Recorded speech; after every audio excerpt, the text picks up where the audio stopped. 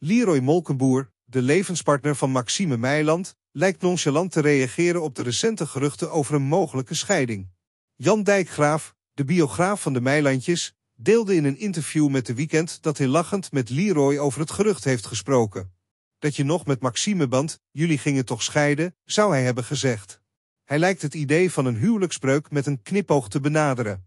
Carolien van Ede, een voormalige huisvriendin van de Meilandjes, beweert echter dat het huwelijk op het punt van breken staat. Ze uitte haar medelijden met Leroy en voorspelde moeilijkheden voor hem. Haar leven is één grote leugen. Ze liegt alles bij elkaar, al dus Carolien.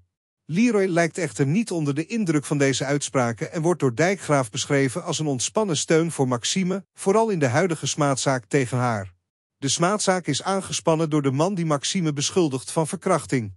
Jan Dijkgraaf onthult dat Leroy Maxime door dik en dun steunt, zelfs bij deze juridische kwestie.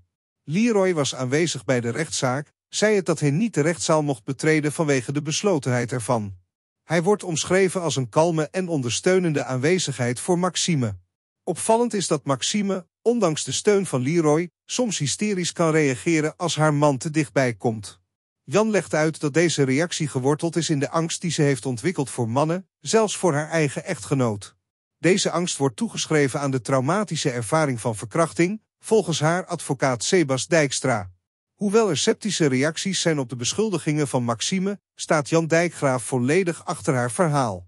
Hij heeft de zaak grondig onderzocht door drie keer met haar te spreken en geeft aan geen enkel moment getwijfeld te hebben, omdat er volgens hem geen gaten in haar verhaal zitten. De tekst suggereert dat Jan een betrouwbare bron is en zijn overtuiging in de geloofwaardigheid van Maxime benadrukt.